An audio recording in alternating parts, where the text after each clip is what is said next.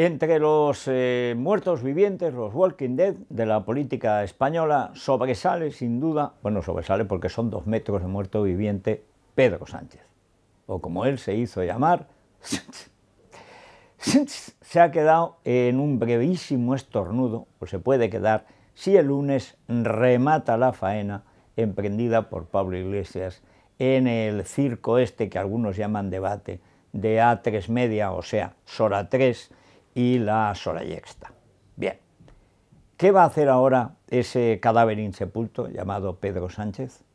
Porque ha sido tan evidente y la sensación en el PSOE de que su líder es, está muerto es tal que ahora van a intentar, por un lado, enfadarse, bueno, ya se puso ayer como una loca carioca, eh, y al mismo tiempo dar pena, pero algo más tendrán que hacer. Acaba Pedro Sánchez, o sea, de acusar de comunistas a los de Podemos. Es decir, acaba de reconocer que cuando Esperanza Aguirre y Begoña Villacís, cuando Ciudadanos y el PP le ofrecieron al PSOE a Carmona o revienta la alcaldía de Madrid con tal de que no se lo diera a Podemos, tenían razón el PP y Ciudadanos.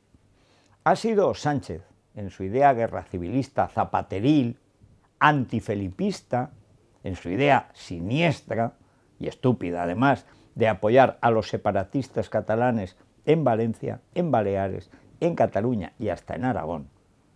Ha sido él el que le ha dado vida al monstruito. El, el doctor Frankenstein pues tenía unos trozos de cadáver y se le ocurrió coserlos y ¡plá! darle un poco de electricidad, el monstruo se levantó y claro, al final el monstruo empezó a matar porque era un monstruo y al final murió el doctor, etc. Hay varias versiones, en una el monstruo estrangula, el tío de los tornillos se estrangula al doctor, en otro los villanos le queman el castillo, pero el resultado siempre es el mismo. Tú has puesto en marcha una fuerza que no puedes controlar. Sánchez es el que ha creado el monstruo de Podemos. Podemos estaba muerto después de las municipales, no se atrevió a presentarse con sus siglas. Eran mareas, eran cosas en común, eran ahora Madrid, mañana Palestina, pero no era Podemos. Es Pedro Sánchez el que se empeñó en quitarle alcaldías al PP para dárselas a Podemos. Resultado, ahí está.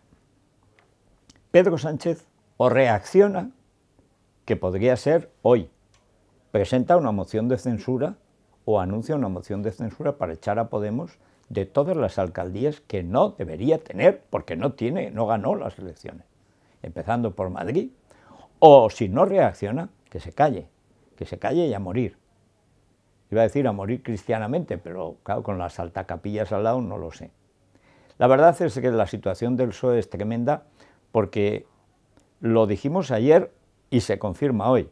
El PSOE no es que pueda perder las elecciones, es que puede perder el tercer puesto. No es que vaya a pasar a la oposición, es que puede ser el segundo partido de la oposición de izquierdas, o sea, el tercero. Y esto ya es lo peor que le podía pasar. Le quitas al PSOE la argamasa del poder y ¿qué te queda? Te queda el cadáver insepulto de Pedro.